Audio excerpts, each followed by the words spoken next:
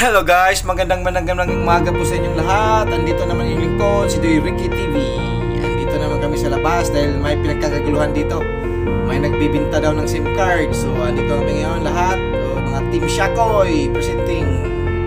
So guys, uh, di alam kung anong gagawin ng aming ito pala si kwarto. Gwapo.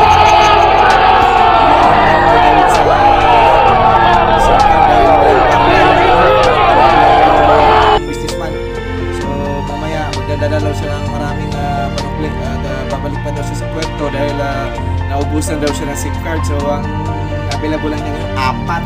So hindi pa namin alam kung sino mabibigyan ito.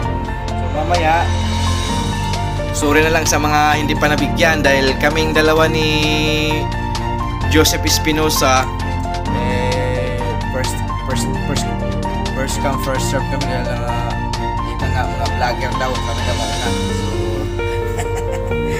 natin kung uh, kaya bang ibigay mamaya ng ating uh, businessman na to kasi meron kaming barya so ayan guys uh, andito nagkakagulo na sila dahil uh, wala nga panukli yung ano businessman so ayan guys oh kung nakikita nyo sa mga paikot-ikot na ako oh, na kita sa mukha eh. si Jeff. Oh, yan.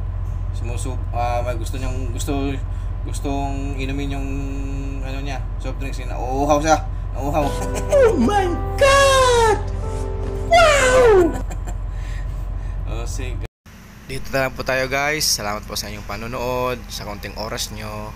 God bless po sa inyong lahat. Bye-bye.